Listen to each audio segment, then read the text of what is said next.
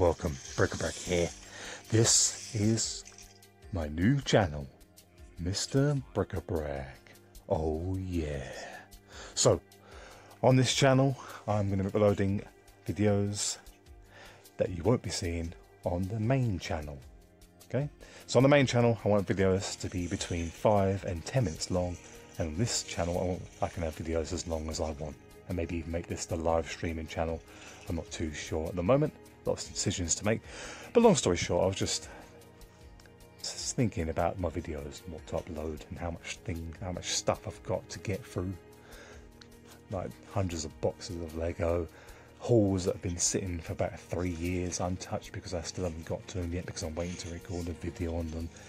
You know, long story short, uh, I like to use the actual recording of videos to actually catalogue what I've got and what I've sorted. That so I can then use it and do what I want with it, sell it or make stuff with it, whatever. But I can't do that because the video is not loading. Even uploaded, even if I uploaded at the moment one video a day on Lego Bric-a-Brac, it will still take me over a year to actually get through the stuff, and then that doesn't leave any room either to make videos on like Lego news that might be interesting or things that I do, like go to you know, hunting for Lego at the market or at car boot sale slash flea markets and stuff like this.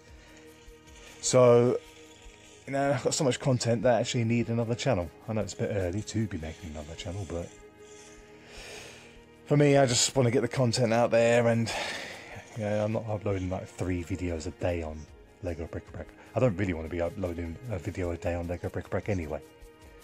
So I might actually make this this new channel the the channel that has daily videos. We'll see. But subscribe to both channels because you there'll be different videos on each channel anyway.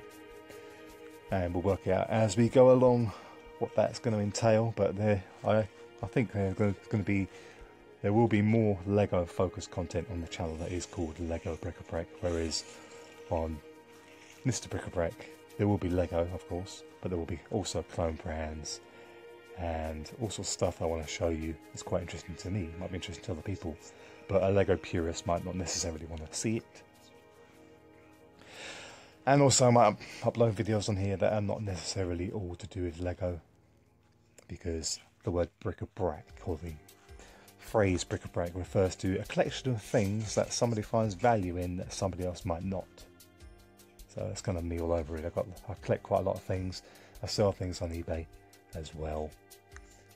You know, I've got like corgi cars, for example, vintage cars, all sorts of stuff. So stay tuned to Mr. Brick N Brack for more.